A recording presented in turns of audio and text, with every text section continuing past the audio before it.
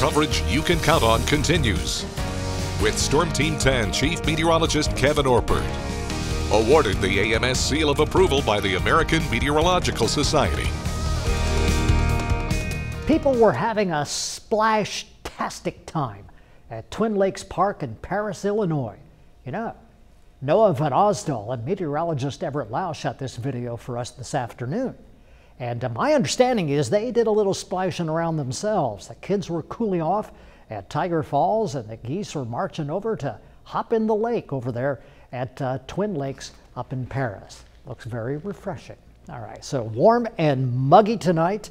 Um, it's kind of a still night, at least for the time being. It will become breezy as we get into the day tomorrow, and actually kind of windy.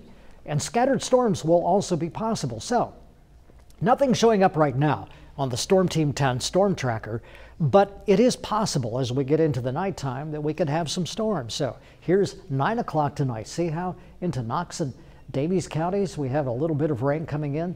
And this is an updated version of the Futurecast, by the way. So if you watched at 5, this is different than uh, it was at 5. Here's Linton, Greene County, down into Martin County. This is midnight tonight. Here's 2 o'clock in the morning. And then we get into tomorrow, and it looks to me like a lot of the stormy weather, at least tomorrow, is going to be farther to the north. Now, it could sag down and cross portions of the News 10 viewing area, but right now, I think the real focus, the real area that's probably going to get stormy tomorrow is going to be farther to the north, but that could change. Uh, here's Thursday at 6 p.m. And tomorrow's storm outlook, see how it goes farther to the north for uh, at least a marginal chance of storms. Many of us tomorrow will maybe have some lightning and thunder, maybe some rain, but as far as big, big storms, maybe not. We'll see how this works out, but right now it looks like it's going to be farther to the north, however.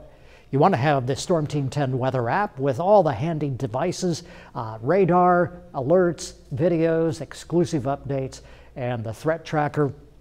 Because of the hot, humid, and actually somewhat breezy weather tomorrow, maybe a chance of storms. I'm going to put uh, caution for Wednesday, Thursday, and Friday. I think with the heat and humidity, caution is probably a reasonable thing to uh, put on our threat tracker. So just take it easy. Forecast for tonight 73, warm and muggy, maybe some scattered late storms tonight. I'll let you know what's going on. Hot, humid, breezy tomorrow. Look at this. Wind from the south 13 to 18 could gust up to around 30 miles an hour tomorrow. So it's going to be a real breezy day.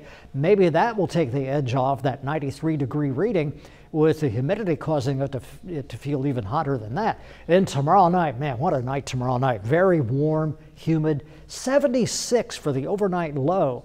Man, that, that's a very warm overnight. And it's still breezy tomorrow night as well. And the seven day forecast well, Thursday 97, Friday 98, uh, maybe a tad cooler as we get into the weekend, but this heat and humidity is uh, our heat and humidity are gripping the Wabash Valley.